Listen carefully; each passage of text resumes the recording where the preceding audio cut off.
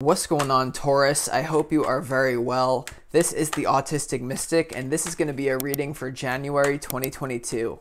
So, in this reading, we're going to focus on your overall energy for the month ahead.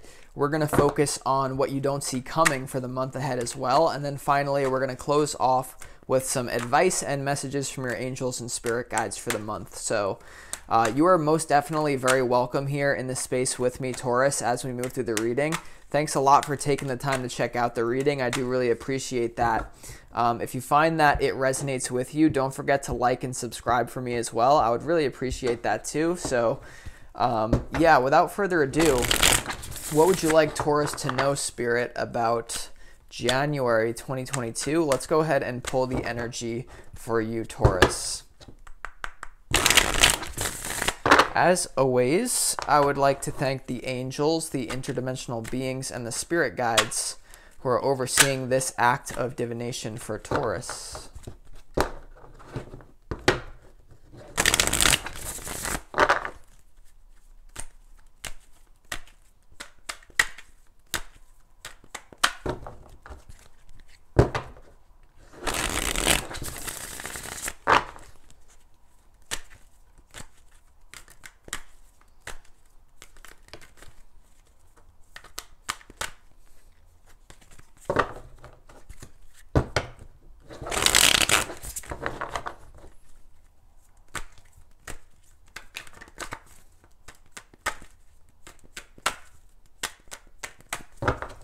Okay, let's see what wants to come through for you here, Taurus. All right, we got the Devil, Magician, Eight of Pentacles.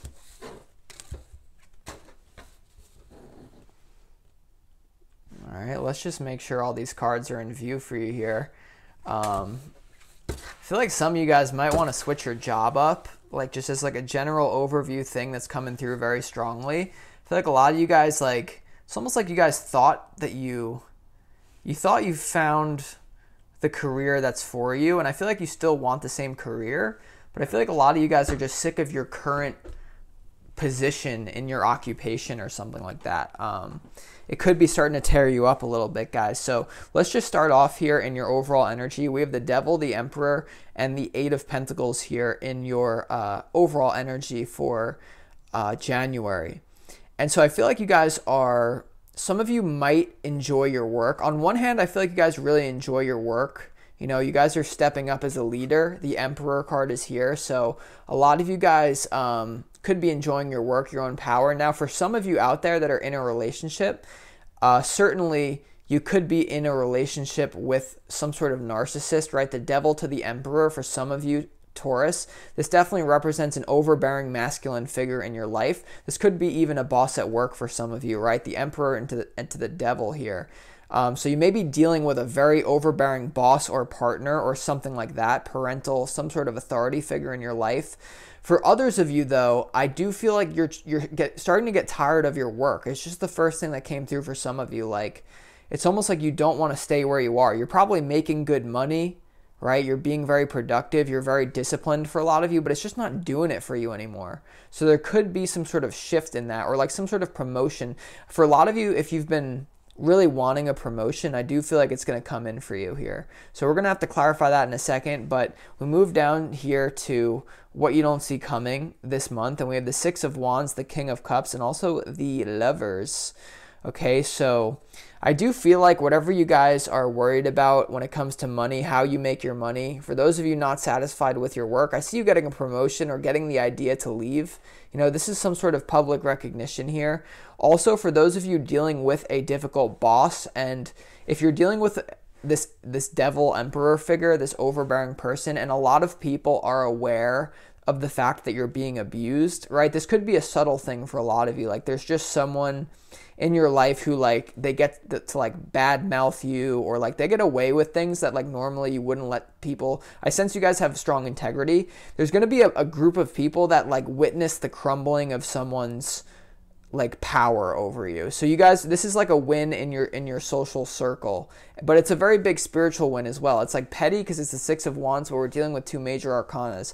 So I almost think like for some of you, I know this is maybe off track for some of you, but for some of you like you're going to take the air out of someone's tire who's like been burning a lot of people right? Picture like a car driving down the street. It's like this nice car that like destroys people somehow. You just poke air, poke a hole in that tire, and, and they need a spare tire. So like, there's some sort of small victory here for you.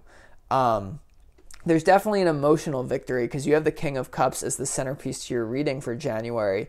So this is for what you don't see coming. Remember this row. So this says uh, you're going to be willing to like feel into a lot of different frequencies that other people wouldn't be able to and still be okay with it. You know, very depth of feeling. For some of you, um, there could be a king of cups entering your life. So for the so for some of you in that abusive relationship, there is someone here to balance you out, right? King of cups to the lovers is very different than the emperor to the devil.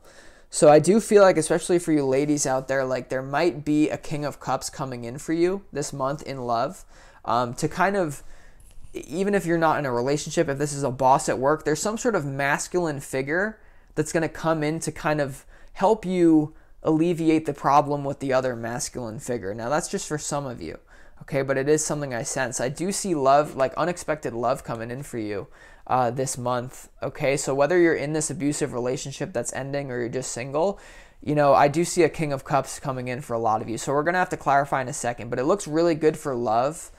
Um, you know, let's see though. We move down here to the advice and messages from your spirit guides, and we have the Ace of Swords, the Seven of Swords to the Chariot. All right, so this is definitely the energy the since it's coming out in the advice position, spirit is giving you the go ahead to cut yourself loose from this uh, overbearing figure. So this could be a boss at work that just toys with your hours or like overbearing partner. Spirit is saying to cut yourself free and freaking run away.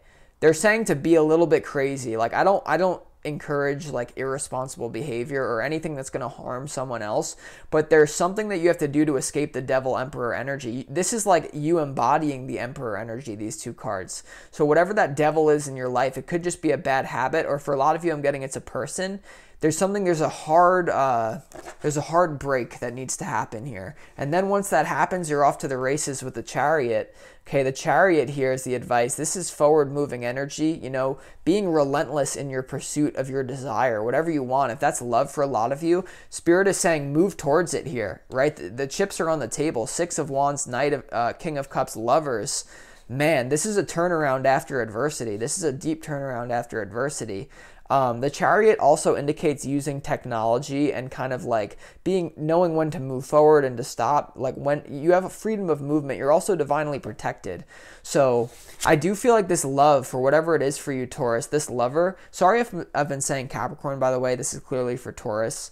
Um, this lover, whoever this lover is, you're divinely protected to be with this person. This person could be coming in to protect you from the harsh working or love situation that you currently got going on, Taurus. Um, yeah, sorry if I've been saying Capricorn. I think I have been.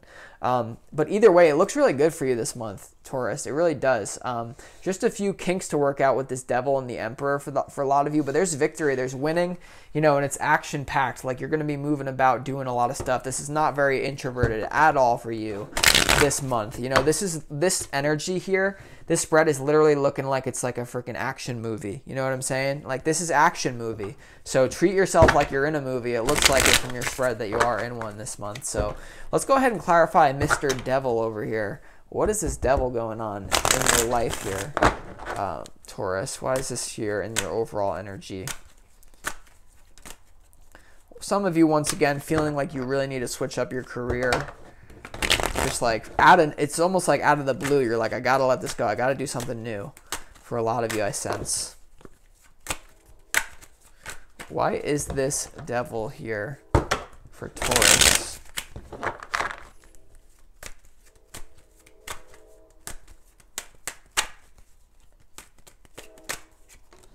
Okay yeah so there's a burden that you have to release. It's very clear. You have the burden card here guys burden right? So um, it's time to cut this burden out of your life with the Ace of Swords. The advice from your spirit is the Ace of Swords here. Like literally, like this is the energy of like run away from your problems and there's a new lover, there's new victory coming for you. So you got to release the burden. Okay, this card literally says like in the booklet, um, you know, since you know, since this is actually the devil card, guys, I'm going to do something that I never usually do. I'm going to go into the guidebook and actually read the advice to this card for you.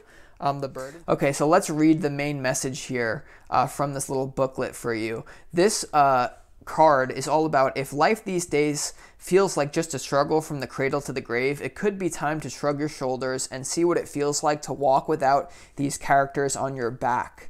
You have your own mountains to conquer, your own dreams to fulfill, but you will never have the energy to pursue them unless you release yourself from all the expectations you've gathered from others but now think are your own.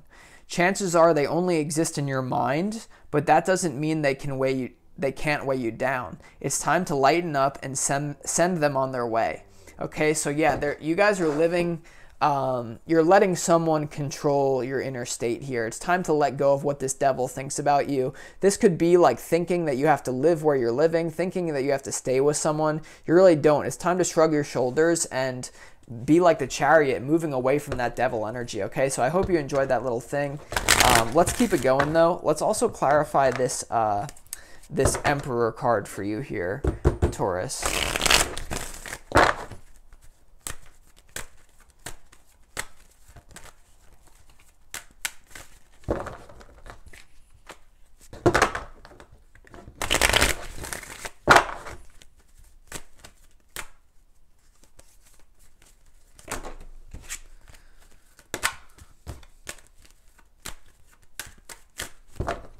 Why is this Emperor card here for a Taurus?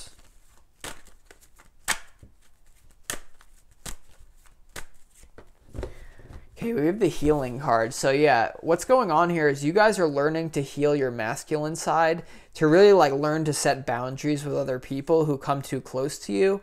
Um, this is you learning to say no. The power of that you're going to have is to cut yourself free to be very bold and assertive this month with what your boundaries are, what you expect of other people. So this is your healing, you know, tapping into your own masculine energy. For some of you, walking away from that masculine energy is going to be your healing this month, okay? And keep working hard, but some of you also may have to be bold and change careers, right? You have this chariot, ace of swords, that's changing energy. So just be aware of that. Um, so let's move down here to um, what you don't see coming. Let's go ahead and clarify this Six of Wands. Why is this here for you?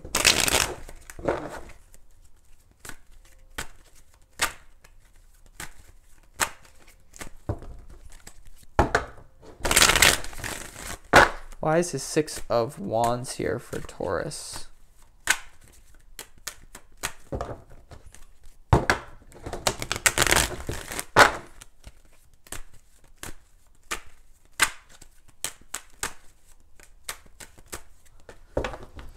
Okay, the Six of Wands is clarified by the moment to moment card. Okay, so this is you guys living a free life. It's definitely breaking away into more freedom, I sense. Okay, so um, your victory may be a little bit small, right? We have the number two there. So, once again, remember what I was saying about that small victory over this burden. You know, if this is an inner turmoil or it's an outer person bothering you, this is going to be a small victory over it. Okay, so you know be be open you know your victory i feel like you guys are on a good luck wave right now like you're on a wave of good fortune so keep riding like this says keep skipping along you know be playful with life um, two of pentacles. You may have to like juggle like be very receptive and intuitive as you move forward here. Okay just be aware of that. Um, now we also have this let's go ahead and clarify this lovers card for you. Why is this here in your reading?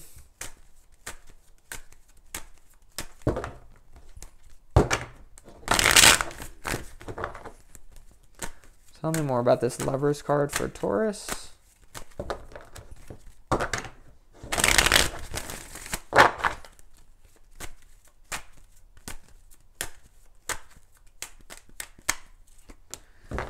Okay, this Lover's card um, is clarified by the King of uh, Wands here, the Creator card. So this is uh I feel like this is this is super powerful energy. I feel like this is you manifesting a lover this month, right? The creator is all about tapping into um, that very like that sun, that powerful solar plexus energy, and um, this also could be someone that you have children with. I'm not even kidding, right? The creator. Whenever you see like, look at this beautiful lovers card, right? And then you have the creator. You guys may actually you may meet someone this month where you make children with. Like, I'm not even kidding.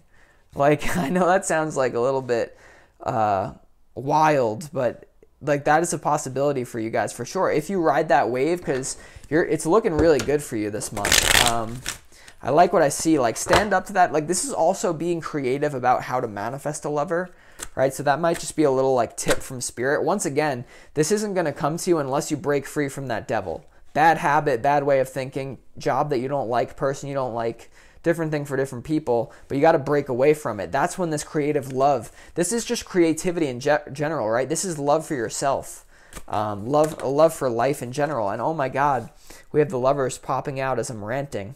Um, so we can't ignore that. We're going to leave that out. Lovers again. Um, so yeah, it's it's this is someone coming in for you unexpectedly. Only after you cut this out. I know I keep repeating myself. Let's go ahead and clarify though. Uh, let's clarify this um, Ace of Swords. What is this Ace of Swords doing here for Taurus?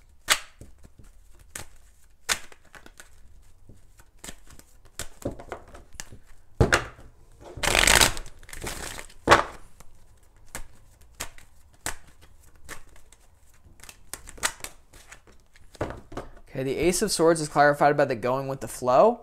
And this just tells me, you know, whatever you're letting go of, you're embracing your more, your more masculine energy, cutting something off. This is totally in your flow. It's just like that moment to moment card, you know? You are totally in alignment with the universe this month. So if it seems like things are falling apart for you, know that you're actually where you need to be, right? This is the Ace of Cups to clarify an ace. So whenever you have two aces, it's all about new beginnings, new beginnings in love and mental powers as well, being like that uh, that emperor, very masculine uh, very mentally powerful energy, logically kind of thing. Um, so going with the flow, I feel like you're in your flow here, right? You're exactly where you need to be. Even though you're fighting a devil this month, you're letting it go. Okay, let's also clarify the Seven of Swords though, because this is pretty critical. Know, why is this Seven of Swords here for Taurus? Oh my gosh, we almost lost the whole deck. That's a little bit too many to clarify here, Taurus. So I'm not going to take those. Um, but let's get the cards back in order here. All right, let's see what wants to come through for the Seven of Swords.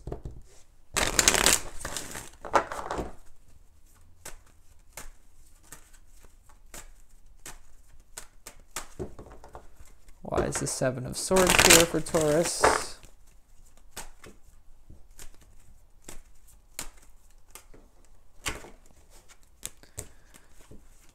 why I cannot shuffle right now.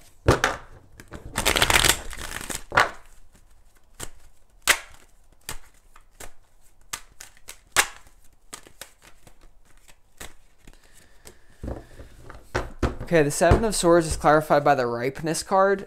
Okay, so if you ever thought about doing something a little bit outside of your comfort zone to get where you need to go, now would be a good time to do that. Okay, this is the Nine of Pentacles. Um, this could be something that you have to do for your own physical well being, like moving, like just really breaking away from a job or a person that's abusing you, right? Moving into this new love energy, this new flow that you have going on. So you're ripe for change. It's almost like you couldn't stay there, you know, but you're definitely like whatever move you're going to make with this Ace of Swords to go into your flow, it's it's in alignment. Do it, the universe says, you know, definitely. Okay, let's also just clarify this chariot. This will give us more information. Um, why is this chariot card here for Taurus in the advice position? Let's see. This just says move fast away from the burden. In my readings, the first card is very intimately connected with the last card. So move away from the burden. really, I, I literally had to like I could I could come on here in two sentences for your reading this this week, Taurus. I could just say, move away from the burden. You have a new lover coming on. You're in your flow. That's really three, but whatever. Okay, but why is this chariot card here for Taurus?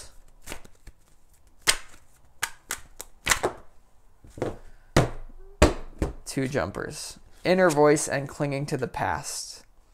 Okay, so this says get the hell away from clinging to the past. Listen to your inner voice. Okay, so this burden is now in the past. It's going to be healing for you to move away from the past. Even if you have to cut the past off with a sharp blade, this is your advice position. Very strong cards for the advice from spirit. This is like, this is hit, hit them and like this is just like some savage energy that your spirit guides are putting in here. So make sure that you also listen to your inner voice and always remain you know, respectful of the free will of others. Don't do anything shady, you know, but your spirit guides in the most polite way possible are saying, break free from the past, please, Taurus. And that's how your new love comes in and all that good stuff. So, with that being said, I hope you guys enjoyed this reading, uh, Taurus. If you did and you want more information on your situation, feel free to book a personal reading with me. You could find the information on that in the description box of this video. It would be such a pleasure to work with you guys one on one. It always is. But either way, I wish you well. I wish you a good January 2022. And I will talk to you guys on your next reading. This is the Autistic Mystic. Peace.